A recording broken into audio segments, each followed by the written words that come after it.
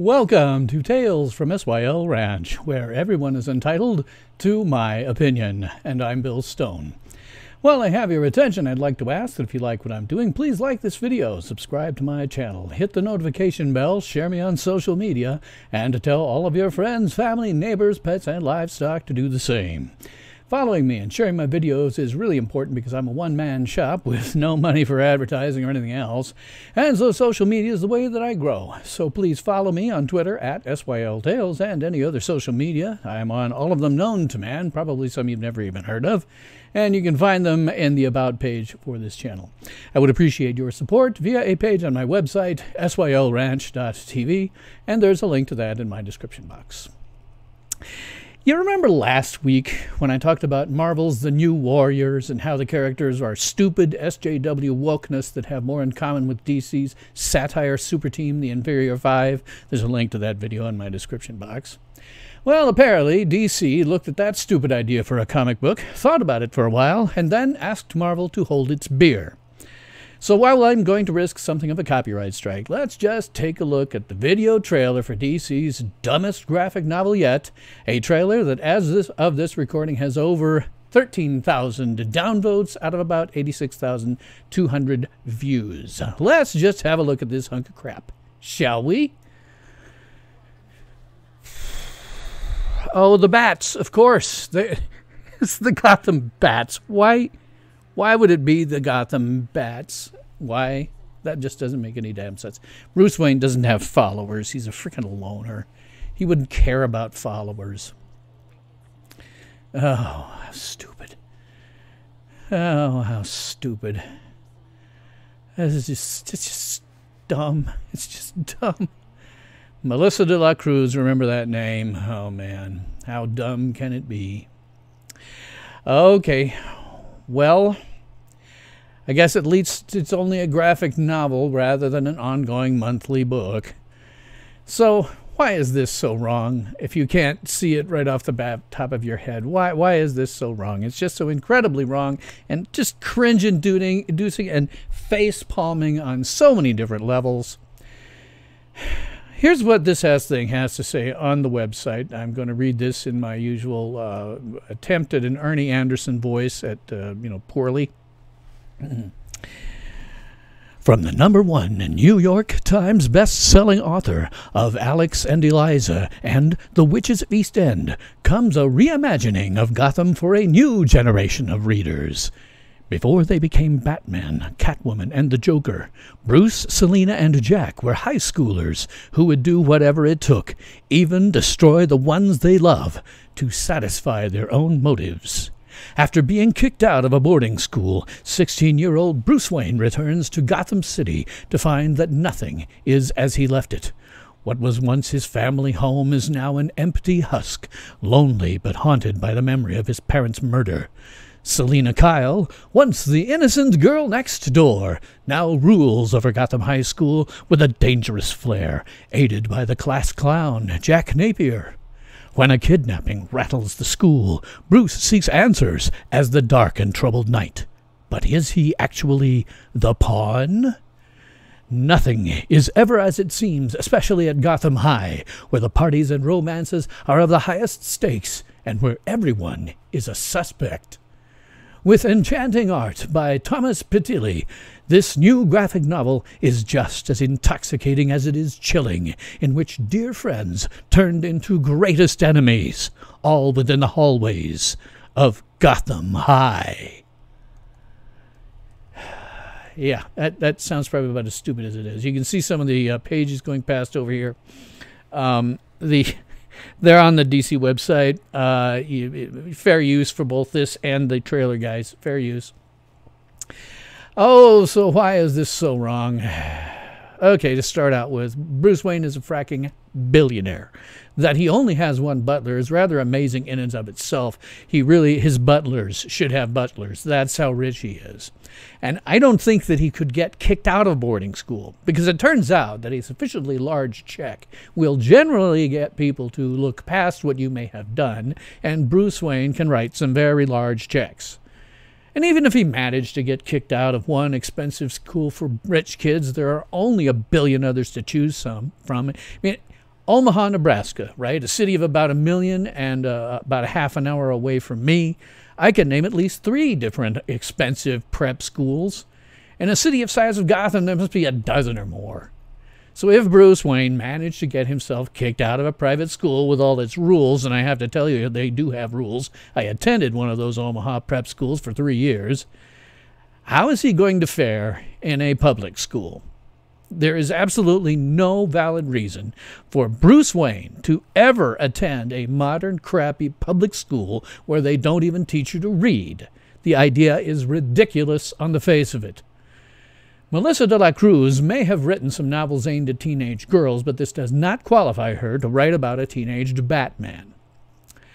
And as for Jack Napier the Joker, where, where do you start?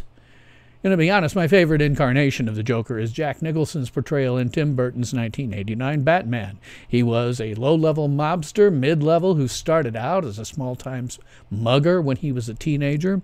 And I actually do like changing Batman's origin to have Jack Napier murdering Batman's parents, Bruce's parents. I think that it's actually more dramatic than having it just be some random thug. However, no matter what your favorite origin interpretation may be, the Joker simply can't be a class clown who happened to go nuts when dipped in a vat of chemicals. Because if the Joker is just a class clown, he wouldn't go on to be a criminal. He'd be too well adjusted for that. He'd, he'd either be a stand up comedian or a sitcom writer or something like that. The Joker just being some funny guy attending high school is just stupid beyond words. Melissa de la Cruz may have written some novels aimed at teenage girls, but this does not qualify her to write about a teenage Joker. And then there's Selina Kyle, the Catwoman. Oh my God. You know, my favorite origin of this character actually comes from Frank Miller's Batman Year One, and in that, Selina is a hooker to start out with. But in any case, she is a literal cat burglar. She scales walls to get into places like museums and expensive jewelry stores. The idea that she'd be in a high school love triangle with Bruce Wayne, who shouldn't be there in the first place, and Jack Napier, who shouldn't be there in the first place, is just plain stupid. Melissa de la Cruz may have written novel, some novels aimed at teenage girls, but this does not qualify her to write about a teenage Catwoman. And uh, none of these characters should even know each other. Having the characters know each other as teenagers is just beyond ludicrous. I mean, it was bad enough when Lex Luthor knew Superboy in the small in Smallville during the Silver Age. However, comics back then were marketed to 12-year-old boys, and boys and this 12-year-old boy reading that, I thought it was kind of cool. But doing with Batman, the Joker, and Catwoman is really, really stupid. It just completely undercuts their futures as criminals and adults.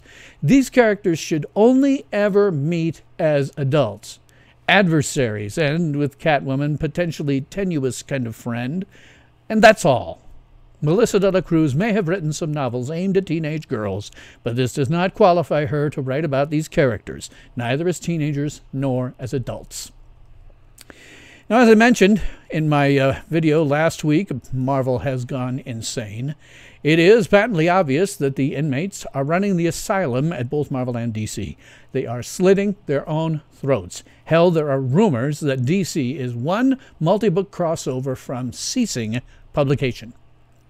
DC, you need to fire everyone on your staff and hire me.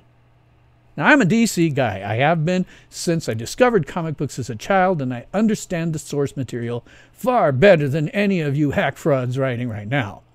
So, AT&T, you are the new owners of DC, I know. So, I know how to fix your entire problem. I know how to make DC profitable again. First of all, fire every single one of those hack frauds that you've got working for you. They have no idea what they're doing. Not a single one of those idiots does. And then hire me as your new editor in chief. And then cease publication for 12 months. At the end of that time, I will have hired a team that can create and maintain a consistent multi book universe. We will not be rebooting every five years to correct the mistakes that hack frauds inevitably make. Now, we're going to have to cut the comic book stores loose. And comic store owners, I'm really sorry about that. However, comic publishers have been making a serious mistake by marketing to anything other than comics' natural market, which is 12 year old boys. We need to put DC's comics on the grocery stores, impulse buy shelves, right next to the tabloids. And that's because we will finally be aiming comics at the, the appropriate demographic of 12 year old boys. They'll buy comics just as they did 30 to 40 years ago by pestering their mothers at the checkout. Now, that doesn't mean that we'll be telling stupid stories. It means that we'll be telling good, entertaining stories with character development that leave out the nihilism, political correctness, and stupidity. You can look just at the DC animated universe. That's something both adults and children can enjoy. That's what we'll be shooting for. Sort of. I have a much bigger plan than that. But if you hire anyone other than me to run DC AT&T, then you are signing the death warrant of DC, both in comics and in film. It is just as simple as that. I can save your ass. No one else can. So call me, like right now. And that is all that I have to say about that. I would love to keep the conversation going, so please uh, leave your comments, questions, and nasty remarks, and I'll do my best to respond to you. So thanks for watching. That's all the time that we have today for this episode of Tales from SYL Ranch, where everyone is entitled to my opinion.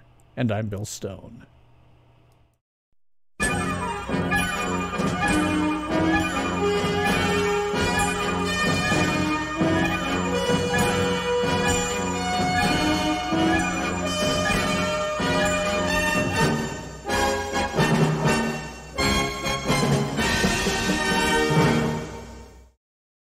Ultimate power in this world has always been one simple thing the control and manipulation of minds.